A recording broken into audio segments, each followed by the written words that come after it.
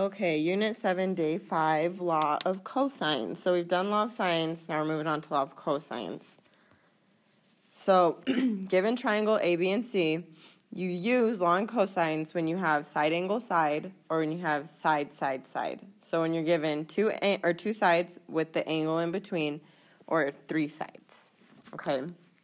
And it's a squared equals b squared plus c squared minus 2bc cosine of a or b squared equals a squared plus c squared minus 2ac cosine of b. Notice the first and the last are always the same, and then the middle ones are the same. Or c squared equals a squared plus b squared minus 2ab cosine of c. Okay, so basically for finding sides, it's the missing side squared, and that equals the given side squared plus the given side squared minus 2 times the two given sides times the cosine of the given angle. Okay? Or to find angles, it's the opposite side of the angle squared equals the adjacent side squared plus the adjacent side minus 2 times the adjacent sides times the cosine of the missing angle. Okay, that will all make sense once we get into actually doing these. But we have to go through a proof first because you guys have to at least see the proof, see where it comes from. So I'm just going to label this, that's angle A, the side opposite is side A. That's angle B, the side opposite is side B. That's angle C, the side opposite is side C.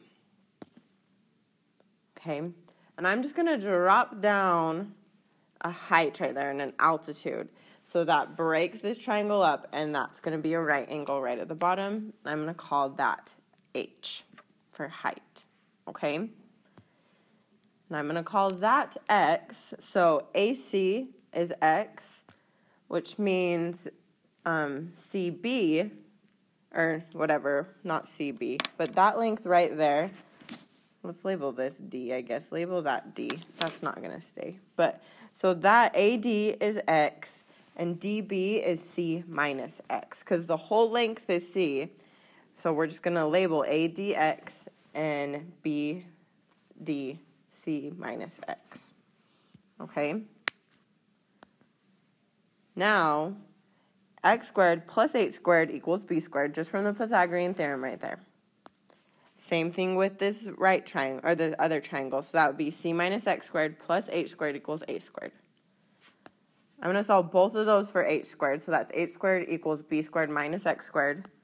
This one's h squared equals a squared minus c minus x squared okay? And then I can just set those equal to each other because they're both equal to h squared, so I can just set them equal to each other. So that's b squared minus x squared equals a squared minus c minus x squared.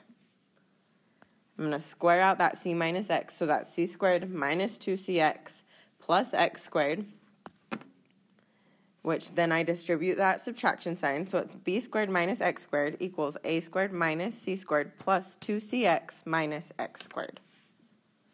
Okay, if I add that x squared over, they'll cancel each other out. And I'm left with b squared equals a squared minus c squared plus 2cx.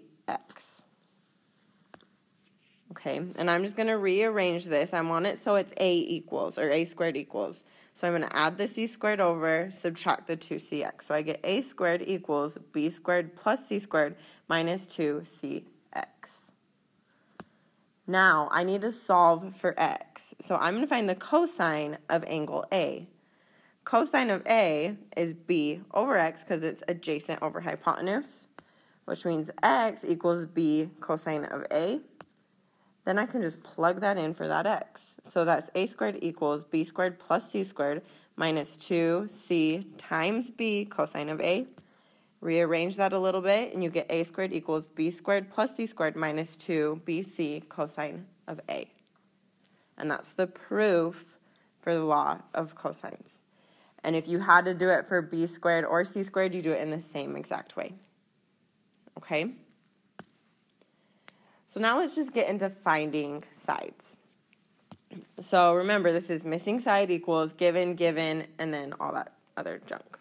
So my missing side here is x. My given sides are 23 and 9, and my given angle is 71. So I'm just going to plug that in. So that's going to be x squared equals a given side, so that's 9 squared, plus 23 squared minus 2 times 9 times 23 times the cosine of 71.